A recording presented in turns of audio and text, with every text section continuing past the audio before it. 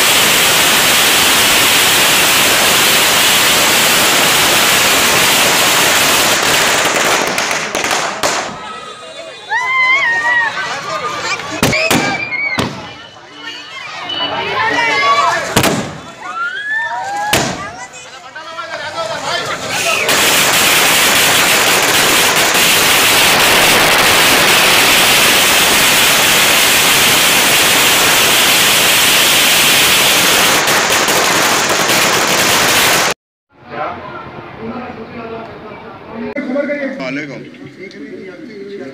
جیسا کہ اس سے قبل تلنگانہ اسمبلی کا کو ڈیزال کیا گیا اور الحمدللہ مجلس اتحاد المسلمین نے شہر حیدرآباد سے اپنے امیدواروں کا اعلان کیا۔ اللہ کے فضل و کرم سے مجھے چار مینار حلقے سے امیدوار کے حصے سے کھڑا کیا گیا۔ میں اس سے قبل بھی پانچ میعاد تک حلقہ یاقوت پورے کے ایک ایم ایل اے کی حیثیت سے خدمت کرتا رہا۔ الحمدللہ، جس وقت سے مجلس اتحاد المسلمین نے اپنے امیدواروں کا اعلان کیا، میں اور میرے تمام ساتھی کارپوریٹرز، میرے ابتدائی کے صدر و معتمدین، محبان مجلس، تمام کے تمام، دوسرے ہی دن سے چار مینار حلقے کے دورے شروع کیے گئے۔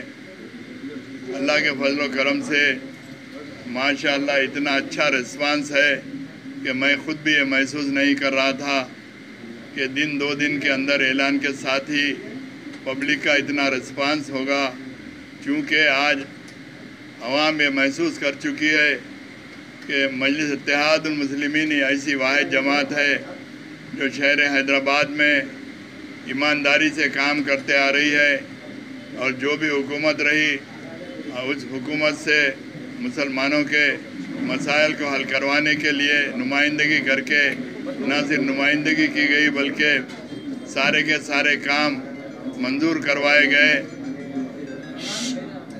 آج مغل پورے حلقے کا دورہ ہے۔ ہمارے اس مغل پورے کے میرے چھوٹے بھائی، چونکہ یہ محلہ میرے لیے نیا نہیں ہے، میں اسی محلے میں اپنی ساری عمر گزار دیا۔ ہمارے نظام میاں صاحب، ان کے بھائی، بھائیاں تمام اور ان کے دوست صحباب نے مغل پورہ چورستے پر ایک آفس کا افتتاح عمل میں آیا۔ تو میری عوام سے یہی ادباً گزارش ہے کہ اس حالیہ انتخابات کے اندر آپ اپنے ایک ایک کوٹ کا استعمال مجلس اتحاد المسلمین کے حق میں کریں۔ چونکہ عموماً ایسا ہوتا تھا کہ جب بھی الیکشن ہوتے تو اسمبلی اور پارلیمنٹ مل کر ہوا کرتے تھے۔ لیکن اس مرتبہ پہلے اسمبلی کے الیکشنز ہو رہے ہیں اور اس کے تین مہینے بعد پارلیمنٹ کے الیکشن ہوں گے، تو اغیار اور مخالفین سارے کے سارے آج متحد ہو کر یہ کوشش کر رہے ہیں کہ کسی بھی طریقے سے مجلس اتحاد المسلمین کو کمزور کیا جائے۔